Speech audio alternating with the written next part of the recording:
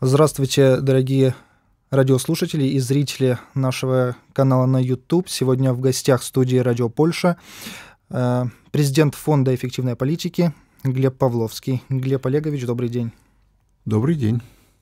Э, Глеб Олегович, такой первый вопрос э, относительно российской социологии. Вы не социолог, однако, возможно, вы сможете нам вот раскрыть картину относительно того, что рекордная поддержка президента сегодня наблюдается, и социологические опросы это подтверждают, при том, что, ну, скажем, сложная экономическая ситуация в стране, Запад обвиняет Россию в э, аннексии Крыма, в поддержке конфликта в Украине, при этом э, санкции и так далее, все это влияет на эту всю картину.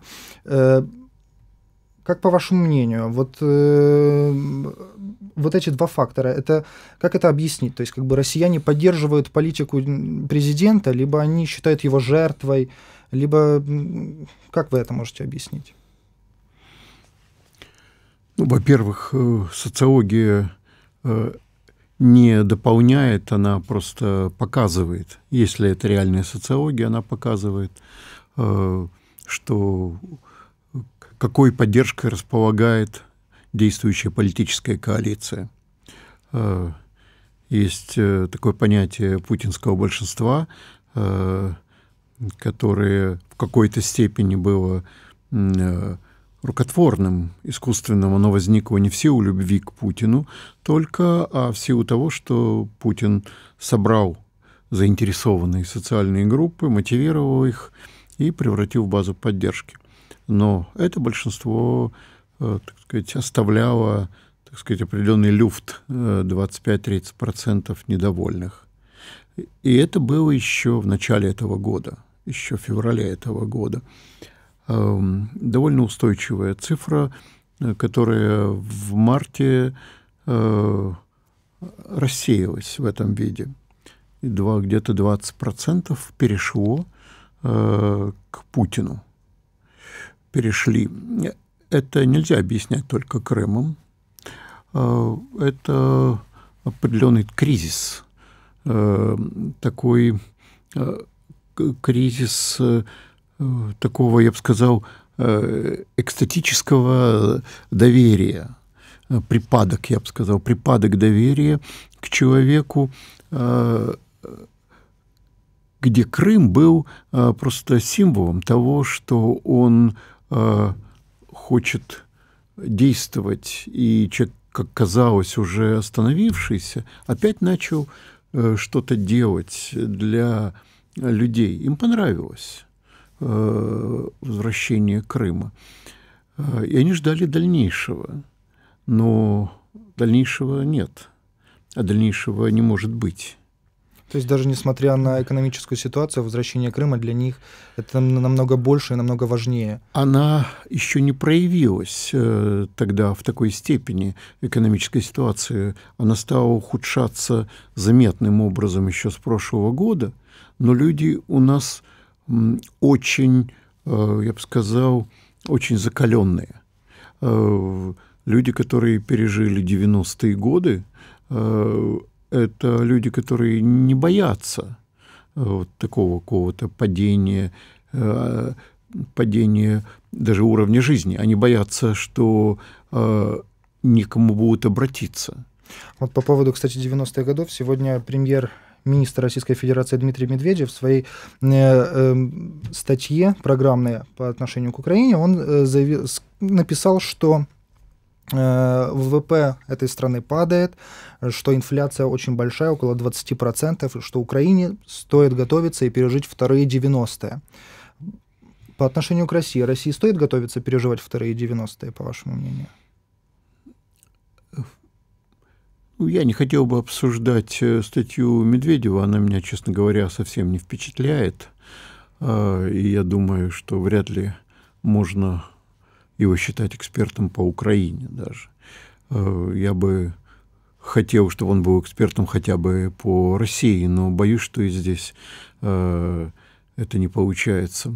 Несомненно, инфляция э, большая, несомненно, она значит, выйдет за 10% в следующем году, и, и мы к этому должны готовиться. Украина в очень тяжелом положении, но бессмысленно нам обсуждать наши экономические дела, сравнивая их с, с теми, у кого они еще хуже. Ну, можно сравнить, наверное, э, с Сомали, хотя э, недавно сомалиец, которому я сказал, очень обиделся, сказал, что на, в Москве, особенно вдали, вдали от центра, он чувствует себя значительно в меньшей безопасности, чем Магадиш. Вот. Э, проблемы, э, проблема вот рубля, которая могла бы в здоровой экономике стимулировать, каким-то образом стимулировать хотя бы наш, значит, наш экспорт, сегодня, прежде всего, символический крах системы. Но люди продолжают доверять. Э, как ни странно, э, еще в ноябре, э, когда уже наметилось падение рубля, стали расти рублевые вклады в банках. Это говорит о том, что мы такие, как говорят в России, тертые калачи. Глеб Олегович, вот в одном из своих последних интервью вы сказали, что Россия переживает управленческий кризис. Ну, если я могу там ошибаться. Мягко выражаясь, да. Да. Вот. Э, недавно, на днях буквально, э, один из лидеров партии «Яблоко» Явлинский заявил, что необходимо поменять правительство, и даже сделал прогноз, что это может быть Алексей Кудрин, экс-министр финансов.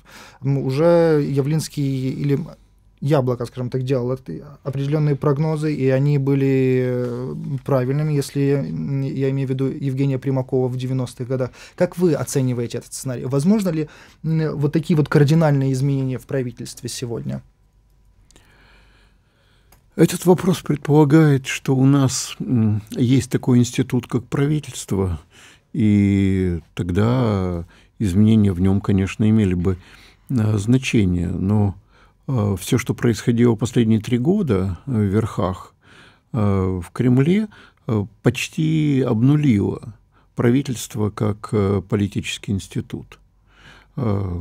И Кудрин это, в общем, хорошо знает.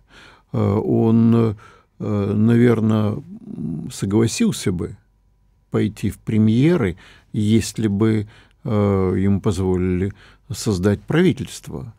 Э, который, в отличие от правительства Медведева, э, было бы тем, чем оно должно быть по Конституции, то есть вершиной исполнительной власти. Сейчас правительство у нас э, мальчик для битья, и оно даже боится принимать решения. Там есть профессионалы, но это если увеличить число профессионалов, вы просто только как бы свяжете им руки. Ну вот, например, если говорить уже о, опять же таки, возвращаться к экономической ситуации в России, то учитывая санкции и учитывая то, что Европа не собирается отменять санкции, э, одно из главных условий это возвращение Крыма, например, оно уже не будет выполняться. Президент России в своем заявлении заявил о сакральности этого места, поэтому нельзя говорить о возвращении Крыма, санкции будут останутся, ситуация будет ухудшаться. Какие в этой ситуации возможны шаги дальнейшие э, власти российской? То есть что они будут предпринимать? Обвинять Запад всегда не удастся. То есть все равно какие-то внутренние, э, внутриполитические решения нужно будет принимать. Санкции не имели бы такого большого значения, а, если бы а, власти развернулись э, внутрь страны к делам самой страны, и тогда и, собственно, поддерживать эти санкции а, их сторонникам на Западе было бы трудно. Наша проблема в том, что у всех связаны руки, у бизнеса, у э, мелких предпринимателей, э, у рабочих, у интеллектуалов. Э, все находятся под каким-то бессмысленным контролем, который при этом э, все равно не является э, советским контролем тотальным. Он просто разрушительно действует на, э, на любую инициативу. И поэтому никто не может э, действовать. Сейчас правительству надо просто развязать руки э, стране, и тогда санкции, э, наверное, перестанут быть значимыми. Санкции – это просто как бы дополнительное наказание, которое скорее мы на себя возлагаем так называемыми антисанкциями, которые, во-первых, непродуктивны, и, во-вторых, просто, так сказать, я бы сказал, унизительны больше, чем санкции. Ну, а если говорить о, э, опять же таки, вы говорите в своих заявлениях вы говорите о том, что э, в интервью вы говорите о том, что власть должна подготовить себе, подготовить себе путь отхода, например, и как бы вот э, я, я, например, не могу представить президента Владимира Путина как в роли Ельцина, который говорит, я устал, я ухожу. Вот. Как, каким образом власть в России может поменяться тогда? Уходить можно не только тогда, когда устал. Э, и, собственно говоря, политика, которая сказать, устроена так, дожидается того, что лидер э, придет в полную негодность физически, во всяком случае, и только тогда его отпускает, это несчастная политика и несчастная страна. Э, у Путина есть э, очень сильный ресурс э, и доверия, и, и реальной силы, и люди, прежде всего, вот это, я бы сказал, социальное, социальный массив граждан страны, зависящих от бюджета. Это неправильно, что так устроена экономика, но эти люди есть и они составляют действительно реальное большинство страны.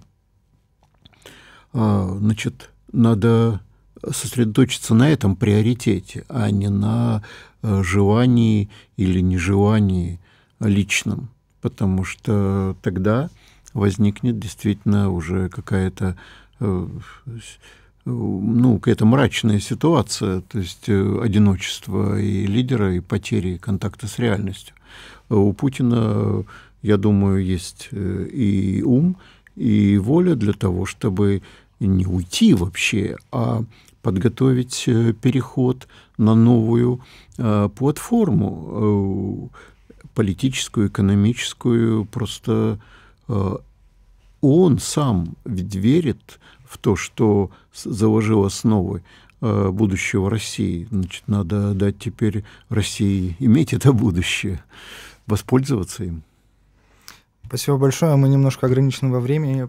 Спасибо большое, Спасибо. Лев Олегович. Напомним, что гостем студии «Радио Польша» президент Фонда эффективной политики Глеб Павловский. Спасибо большое. Спасибо.